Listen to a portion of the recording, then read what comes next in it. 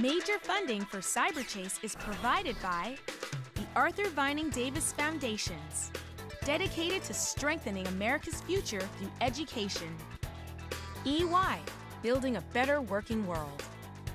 The Helena Rubinstein Foundation, with additional funding from the Corporation for Public Broadcasting, the Volckhausen family, and contributions to your PBS station from viewers like you. Thank you. Have you heard the news? Something's cooking! Arthur's on PBS Kids. What?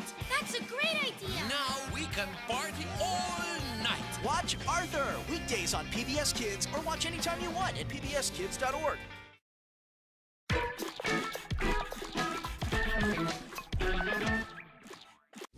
PBS Kids brings the adventure. We'll find an adventure! And it doesn't have to stop. Where no cat has gone before! The adventure never stops. I'm in creature adventure heaven!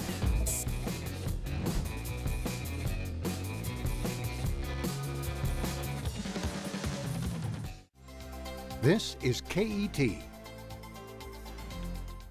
Quality programming on KET is brought to you in part by Class Act Federal Credit Union. Class Act Federal Credit Union is a full service financial institution serving over 30 Kentucky school systems, as well as students and alumni of the University of Louisville. On the web at classact.org. Leather Incorporated carries over 100 briefcases, more than 1,600 pens and luggage by Tumi, Briggs & Riley, Victorinox, Bric's, and more. Leather Incorporated in Lexington Palomar Center, Harrodsburg Road at Man o' War.